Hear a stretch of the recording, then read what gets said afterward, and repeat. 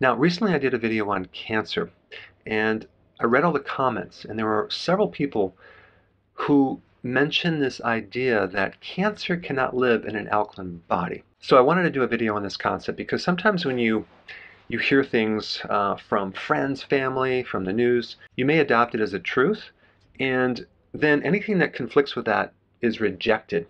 And so if you're watching this right now and you have this idea that cancer cannot live in an alkaline environment, I just want to have you take a look at the information I'm going to present and see if it changes your conclusions.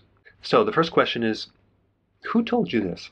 Who told you that cancer cannot live in an alkaline environment? Now, I will say that there are research papers out there that do show that acid environments can help cancer grow.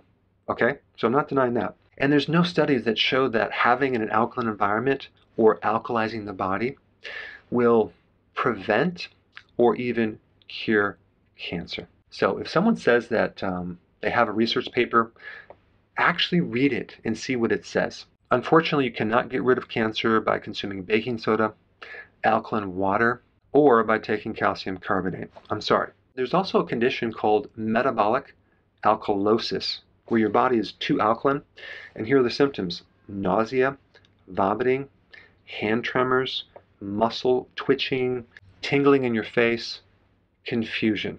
So you have to realize that there's different fluids in the body, and you shouldn't be too alkaline and you shouldn't be too acid. And the way that you achieve this optimum pH is simply by eating healthy, not by consuming things that are too alkaline or too acid.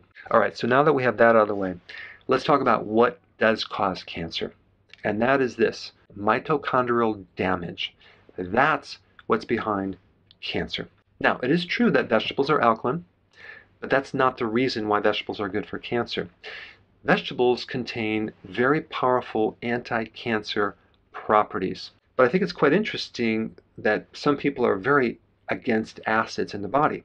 I mean, your stomach should be extremely acid, and that's a normal thing. If you alkalize the stomach, you're not going to be able to kill off pathogens, you're not going to be able to break down protein, you're not going to be able to absorb minerals. You also have things like nucleic acids. Your DNA is acid. You have amino acids. You also have essential fatty acids. Are those bad? No.